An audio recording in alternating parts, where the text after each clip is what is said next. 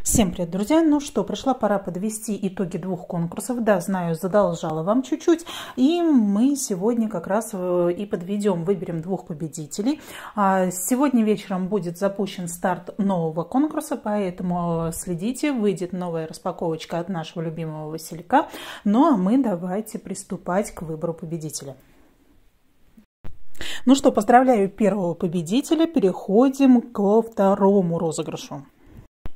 И именно во втором розыгрыше у меня будет к вам один вопрос. Да, я знаю, что в том видео мы разыгрывали комплект полотенец с пасхальной тематикой, но за счет того, что у меня был сильный завал на работе, я готовилась к отпуску, я упустила этот момент и не успела до Пасхи провести э, розыгрыш, подвести итоги. Поэтому, друзья, мы с вами выбираем победителя, но победитель сам решит, либо же мы оставляем в качестве этого, э, в качестве приза этот набор полотенец с пасхальной тематикой на будущий год, или же, если уже не актуально, я смогу заменить на какой-то другой приз, например, на косметический набор, или же, например, на другой текстильный набор полотенец или что-то подобное.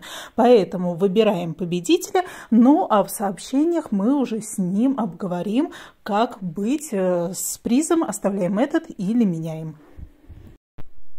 Ну что, второй победитель выбран.